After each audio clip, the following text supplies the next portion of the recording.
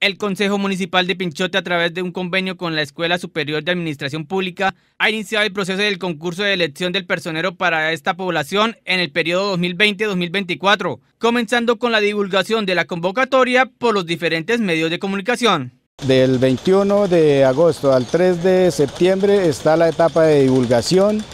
y a partir del 4 de septiembre al 19 de septiembre tenemos la etapa de inscripción. Por eso estamos invitando desde acá a todas las personas que estén interesadas en participar de la convocatoria para la elección del personero municipal periodo 2020-2024 del municipio de Pinchote. Eh, estén atentos a la divulgación que se hace a través de la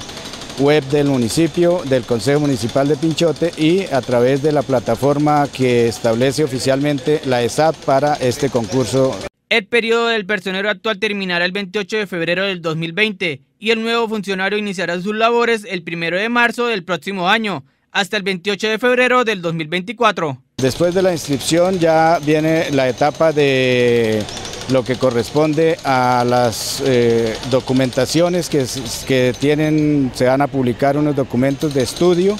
posteriormente vienen ya las evaluaciones y eh, este, estas evaluaciones se van a hacer en la ciudad de Bucaramanga. Y posteriormente eh, la evaluación para entregar en el 30 de diciembre la lista de elegibles por parte de la SAP para que la lista de elegibles eh, hasta lo que corresponde a las evaluaciones y quedaría pendiente la etapa final que es la entrevista, pero que la entrevista ya se haría en el mes de enero a través, eh, y ya le corresponde al nuevo Consejo Municipal hacer la entrevista que es la etapa final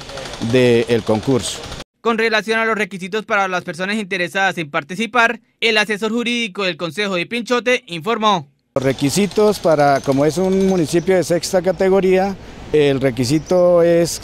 haber terminado materias en,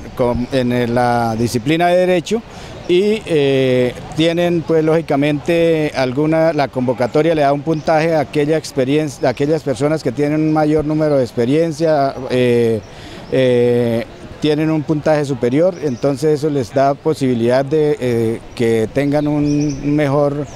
eh, eh, una mejor evaluación y un mejor puntaje al final del, proceso. Eh, las hojas de vida y todos los, requisitos que se exigen a través de esta convocatoria se hace por proceso virtual a través de la plataforma que la ESAP